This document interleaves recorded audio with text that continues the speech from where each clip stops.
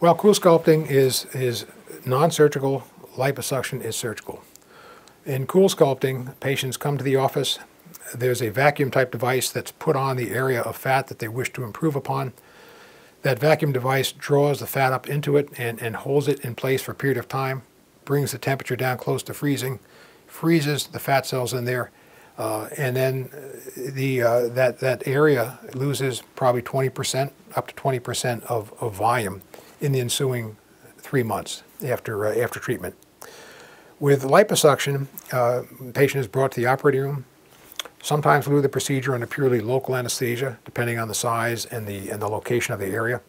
Other, otherwise, our anesthesiologist will make the patient comfortable with some intravenous sedation or general anesthesia. We will then vacuum out fat from that, from that treatment area uh, with uh, something we call safe liposuction. It's just a type of liposuction that I've done for a number of years that really gives us consistently smooth results.